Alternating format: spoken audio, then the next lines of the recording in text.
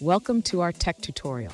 Today we're tackling a question that many developers encounter when working with Angular and ASP.NET Core. Our viewer is curious about the best way to build an Angular 4 app on top of ASP.NET Core, especially after trying out a couple of templates without success. They're looking for a solution that allows them to leverage Angular CLI features like ahead of time compilation, DLLs, and tree shaking, all with minimal configuration.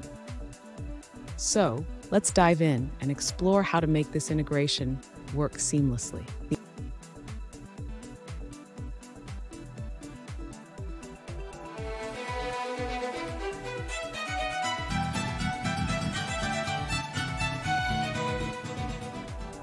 Welcome to another tech video. Today we're going to be going through your question, answering it, and hopefully finding that solution for you. Guys, remember to stay a little bit crazy, like me, and hopefully get to that resolution. Now, let's continue on to that video. To build an Angular 4 application on top of ASP.NET Core, we first need to ensure that we have the right tools installed. Make sure you have the .NET Core SDK and Angular CLI set up on your machine.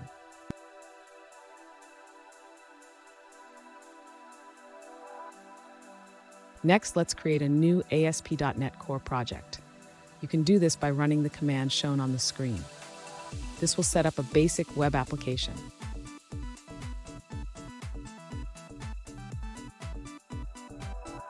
Now we will integrate Angular into our ASP.NET Core project. Navigate to your project folder and create a new Angular application using Angular CLI.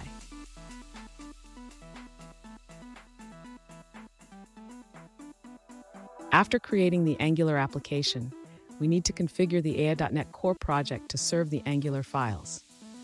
This involves modifying the startup.cs file to include the necessary middleware.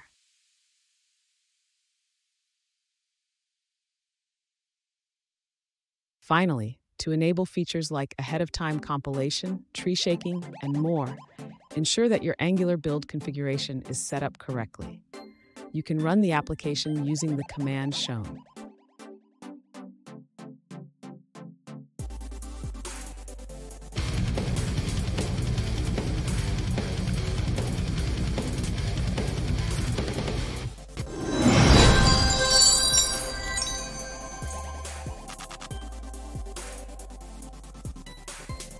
Let's now look at a user-suggested answer.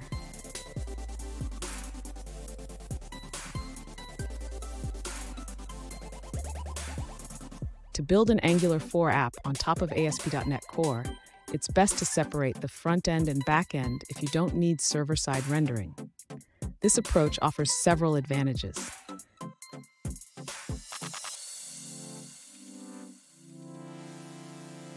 First, separating the two layers allows for better technology separation, making it easier to manage each part independently.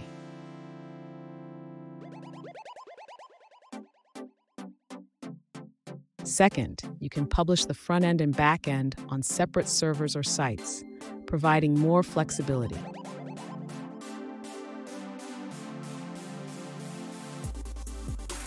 Third, if you need to scale your back end, you can do so without affecting the front end, allowing for more granular scaling.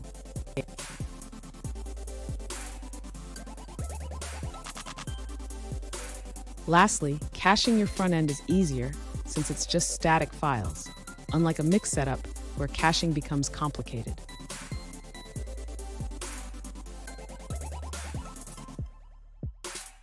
So, consider these points carefully when making your decision. Hope this helps.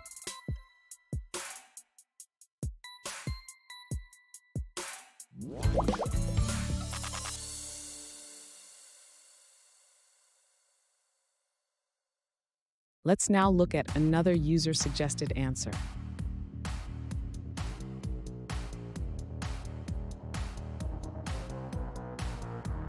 To build an Angular 4 app on ASP.NET Core, start by using the updated SPA templates that now support Angular 4.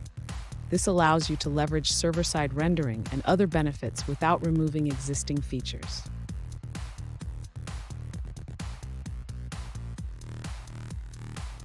First, install the necessary templates using the command line. run .NET New, install Microsoft.ASP.NET Core SPA templates, followed by .NET New Angular.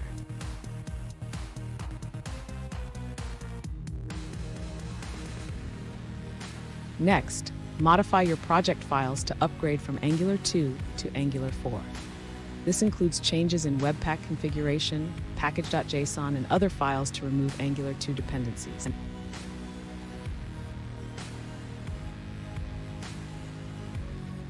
Finally, run npm commands to clean up and install the necessary packages.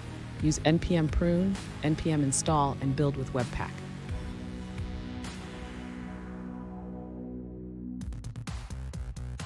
Following these steps will successfully set up Angular 4 on .NET Core while maintaining hot module reloading and Webpack functionality.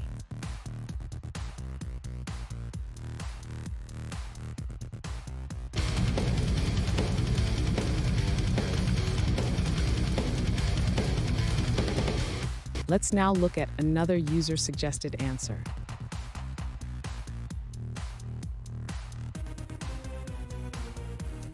To build an Angular 4 app on top of ASP.NET Core, remember that .NET Core is flexible with front-end frameworks. You can use Angular's HTTP module to connect to your .NET Core Web API backend.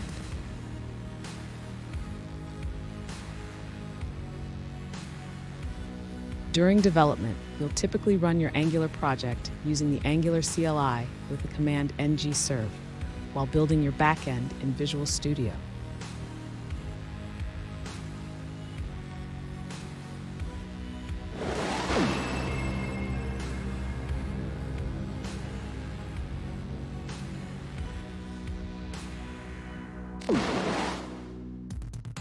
Let's now look at another user-suggested answer.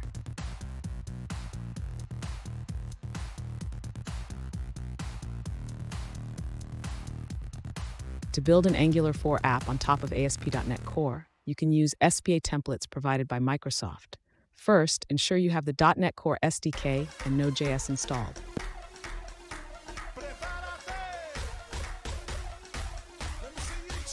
Install the SPA templates by running a specific command in your terminal.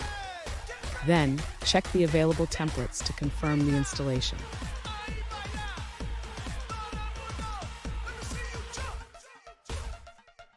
Next, create a project folder, navigate into it, and scaffold your Angular application using another command. After that, restore packages and dependencies.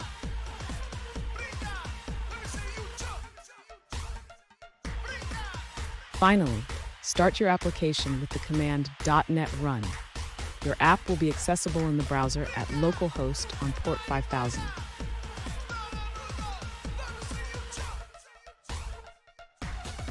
And that's it, guys. We've gone through, found the solutions, and hopefully answered your query. If it did, please hit subscribe. I really appreciate it. And until next time, I hope you have a good one. Cheers.